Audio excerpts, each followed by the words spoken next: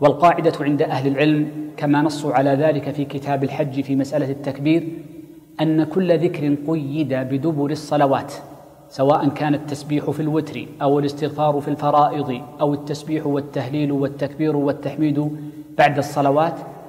فإن محله قبل أن يقوم من مقامه. ولا يستثنى من ذلك إلا صورة واحدة وهو إذا كان في المسجد فإن له أن يقوله ما لم يخرج من المسجد لأن النبي صلى الله عليه وسلم قال فهو في صلاة ما دام في مصلاه أي في المسجد.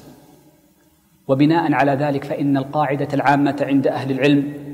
أن كل نافلة إذا فات محلها فإنها لا تقضى إلا ما ورد به النص. فمن قام من المقام الذي صلى فيه الوتر أي قام من مصلاه الذي صلى فيه الوتر فنقول قد فات السنة سنة التسبيح التي وردت عن النبي صلى الله عليه وسلم فلا تقضى وإنما يأتي بما فتح الله عز وجل عليه من أذكار.